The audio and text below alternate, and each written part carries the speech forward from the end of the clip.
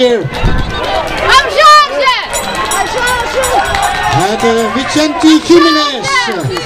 Vamos! Vicente Jimenez. Abraço, ah, Mostra. Pedro! On the second place, Pinto York. Attention, attention! Troisième place pour Christophe Guibon.